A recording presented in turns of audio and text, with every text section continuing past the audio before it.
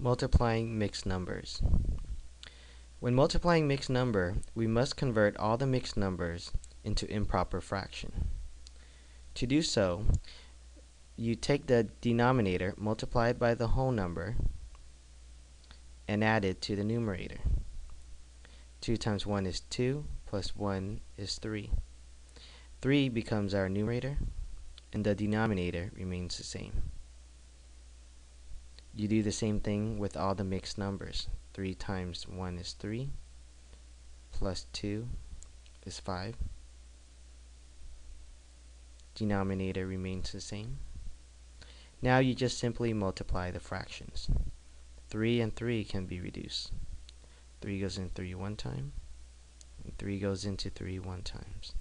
1 times 5 is 5. 2 times 1 is 2.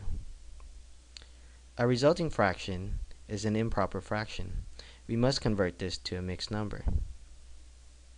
2 goes into 5 two times. Our remainder is 1 and the denominator stays the same. 2 and 1 half is our answer and this completes our problem.